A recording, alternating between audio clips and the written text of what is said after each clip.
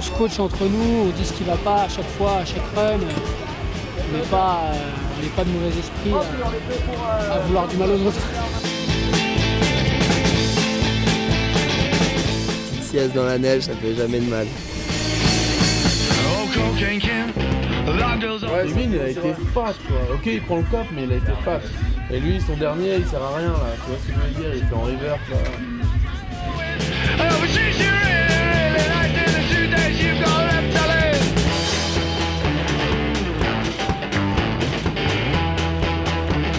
Pour moi, mon sport, c'est euh, quelque chose qui est euh, fondamentalement basé sur le style et l'esthétique, euh, qui est instrumentalisé par, par le grab et l'accroche du ski.